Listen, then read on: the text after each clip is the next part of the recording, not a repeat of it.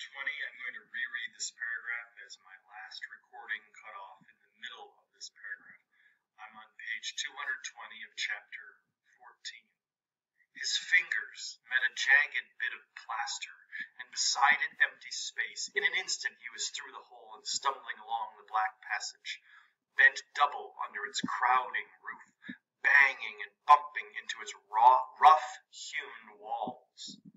So hand-carved walls. But running, flying away from the death behind him, the sounds of rage faded as he ran, grew fainter with every bend, then suddenly grew louder. The thieves had found the wall opening too, and were hmm. after him in the passage. He scrambled around a curve, almost fell, dashed on again, and brought up with a stunning impact against solid wall. Walls on three sides of him. Was he trapped? He wasted precious moments seeking a way around the obstruction. Then his hand touched a rough shelf of stone. A step. He had reached the bottom of the entrance shaft much sooner than he had expected, for his headlong flight back had consumed far less time than his first cautious crawling journey. He clawed at the wall, found step after narrow step, and hoisted his trembling body up them one by one. As he put his weight on the last one, it crumbled under him.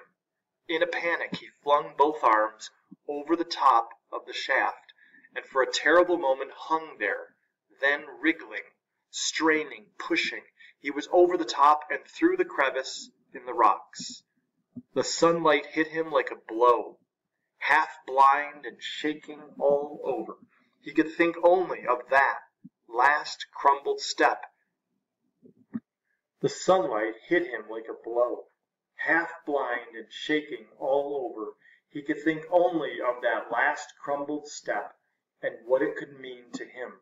The thieves might climb past by jumping and then wriggling as he had done. But they could not get out if the top of the shaft were solidly blocked. They would have nothing to stand on to shove away the stones. He could hear stumbling, rapid footsteps approaching the bottom of the shaft and Gebu's enraged voice bellowed his name. Ranofer! But already he was grabbing up rocks as fast as he could move. His eyes squinted tight against the glare of day. He hurled a few into the shaft and felt a fierce joy at the roar of pain below and the thud of someone falling. Quickly he wedged some larger stones into the crevice, then began to shove and strain at the biggest, a boulder three times the size of his head, which had originally blocked the entrance. It would not budge. He put his shoulder to it, dug his toes into the hot sands, and shoved with all his strength. It stirred a little, tilted, he heard more scrambling sounds below and gave one last desperate thrust. The boulder tipped and rolled across the opening.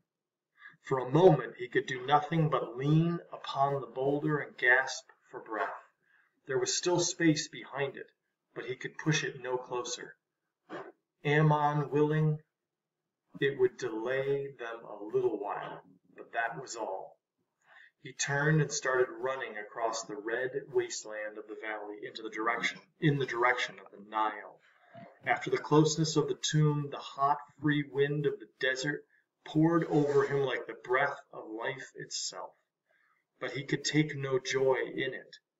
If only the stone had rolled closer. There would be time to plan, to act in safety. But there was no time. There was nothing but but more and more danger. Gebu was strong as Set himself. Sooner or later the stone would be tilting, moving, rolling free.